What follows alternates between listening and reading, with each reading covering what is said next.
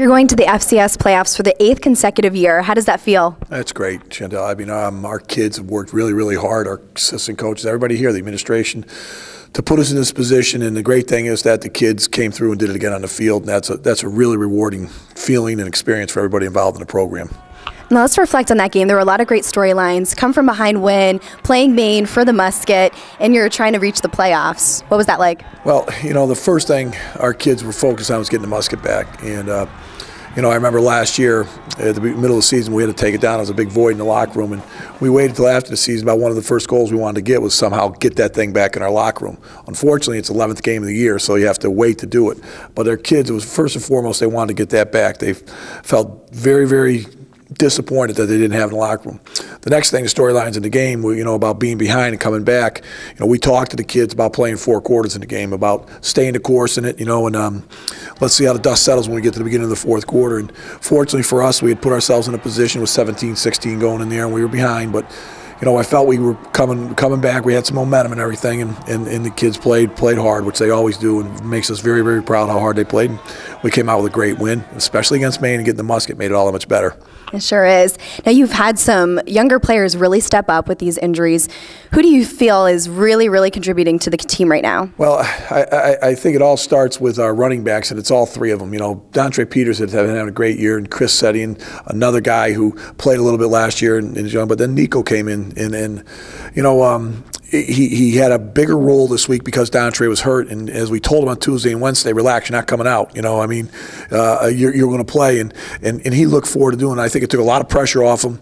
Um, he relaxed in practice and really saw things. And then the game, he just played the way we've seen him do in spurts, you know. And then when, when he does that, you know, our kids see it in practice the folks don't get to see it because you got Dontre and Chris playing all the time, but we knew he was going to do it, and um, felt really good, really good for R.J. Harris, another young guy who, um, you know, he, has been playing well all year, but the last couple weeks with Mickey Mangieri involved a little bit, he got back at it, made some great catches, some great plays. You, know, you have a bye week, and then you're going to be preparing for Montana State. What can we expect? Well, uh, uh first of all, you know, we are playing a, probably one of the toughest opponents we played all year. Um, they're, they're a very, very well coached football team, and they're a talented team. They can run the football. Uh, they've got two or three backs that are very good. They got a quarterback that's very athletic, and you know um, it's it, it's a team that's going to test us in the places where we, we have been struggling the most this year, trying to stop the run. The second thing is that you know we're traveling again, and uh, a lot of people look at it a lot of different ways. Our kids are embracing it. They're looking forward to making another trip to a place where we've never sang, you know, uh, uh, our fight song and never had an opportunity. You know, we've been out there twice. Once when I was a, a junior in college, and once when I was my first year coaching, you know, in the playoffs. And uh, we haven't won out there. We're looking forward to having an opportunity to go out there and get one.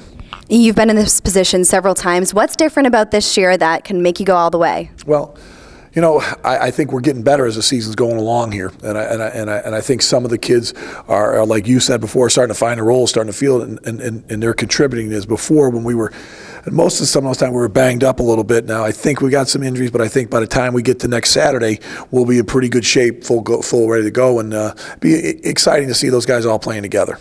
What are you looking for in Montana State to try to stop them? Well, we got to keep the ball inside us. They're, they're a very they're a fast bunch of kids in the, in, in the backfield, and, and, they have a receiver that runs the ball. They have uh, two backs, like I said. You know, uh, we'll know we're in trouble if people are chunking off 15, 20 yard runs against us. We just got to keep it inside us and, um, you know, tackle better. And then the biggest thing offensively, Chantel's hanging on to the football. If, if, if, if Kevin and the, and the, and the skill guys on offense can keep the ball in their hands, we'll be fine.